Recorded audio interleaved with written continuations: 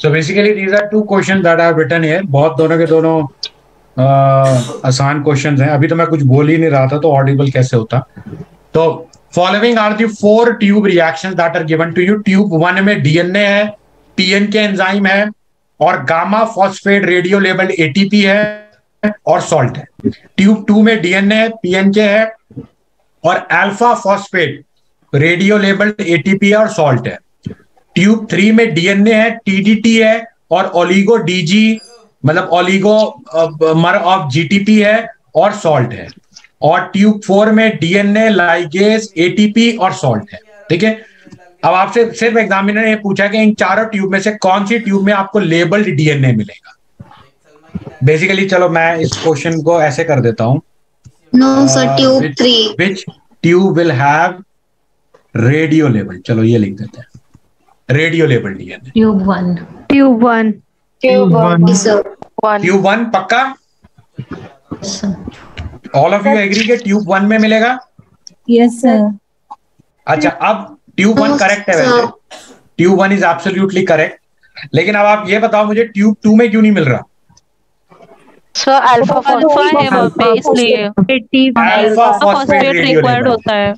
Exactly क्योंकि अगर alpha phosphate radio labelled है तो आप ये बताओ जो ट्यूब टू पीएन के है वो क्या इस एटीपी के गामा फॉस्फेट को ऐड करेगी? No no.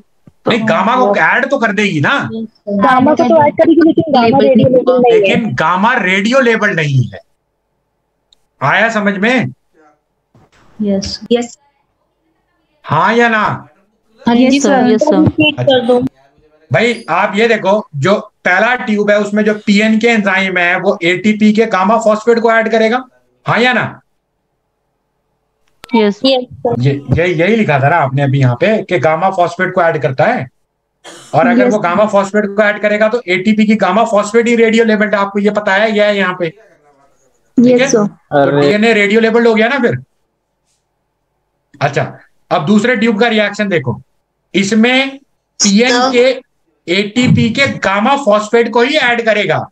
लेकिन एटीपी का गामा फॉस्फेट रेडियो लेबल नहीं है। एटीपी का अल्फ़ा फॉस्फेट रेडियो लेबल है यहाँ। आया फ़र्क समझ में? Yes sir. Sir Okay. मतलब वो ऐड कर देगा लेकिन वो दिखेगा नहीं। दिखेगा नहीं एग्जैक्टली exactly, हमें पता नहीं चलेगा क्योंकि वो अनलेबल्ड होगा। उसमें कोई लेबलिंग नहीं ऐड की गई है। अब आ गया समझ में? यस yes, सर अब तीसरी ट्यूब में भी भाई ओलिगो डीजी ऐड तो हो जाएगा डीएनए के थ्री प्राइम एंड में लेकिन वो रेडियो लेबल नहीं होगा क्योंकि यहाँ पे जो जीटीपी है वो रेडियो लेबल नहीं। ओके डन आ गया समझ में? यस सर यस सर मैं अगर मैं अगर यहाँ पे लिख देता जीटीपी का अल्फ़ा इज़ रेडियो लेबल फिर क्या होता? वन और थर्ड आंसर होता. फिर। वन और थर्ड आंसर हो। एक्सीलेंट अब आ गया आपको समझ में। अब ट्यूब फोर में तो कुछ भी नहीं है ना? लाइगेज एटीपी तो ऐड नहीं करता ना?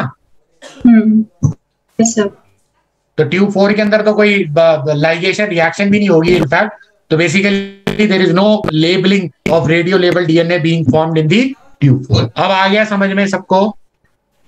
यस सर ओके चलो। अच्छा अब दूसरा क्वेश्चन है। दूसरा क्वेश्चन भी बहुत आसान क्वेश्चन है।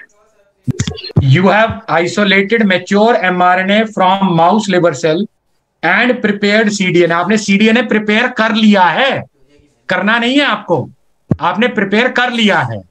Now for doing PCR of a desired gene which enzyme you are going to use